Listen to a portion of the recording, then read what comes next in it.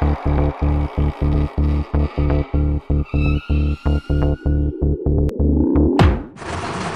este, bueno, estamos acá, nos ayudamos como podemos, con este, uno y otro, intercambiamos los números de teléfono, el botón antipánico, los cartelitos naranja, pero ya nada alcanza y aparte ya esto está todo superado.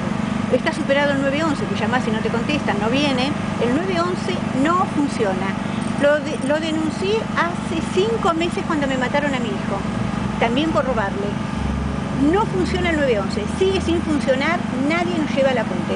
Todo lo que yo denuncié hace cinco meses sigue exactamente igual. Y ahora yo vivo acá al lado y le tocó a este muchacho, que eh, entraron al negocio, le robaron y a él le pegaron un tiro en el estómago y en la mano. Porque ahora te matan por hobby, porque esta gente ya están superados, ya nos han superado a nosotros. Ellos roban, porque ya venían robando el lavadero, otro autoservice de ahí de San Martín y después pasaron acá. Ellos se manejan tranquilos, se manejan lo más pancho porque este, saben que la zona está... Yo pienso que la Argentina entera hoy por hoy está liberada, porque no puede ser que hay tantos signos de delincuencia. Hay que tomar medidas, pero no las medidas que tomamos nosotros indefensos que no sabemos cómo ayudarnos. Cuando nosotros llegamos, ya pasó. Acá hay que tomar medidas para hacer retroceder la delincuencia.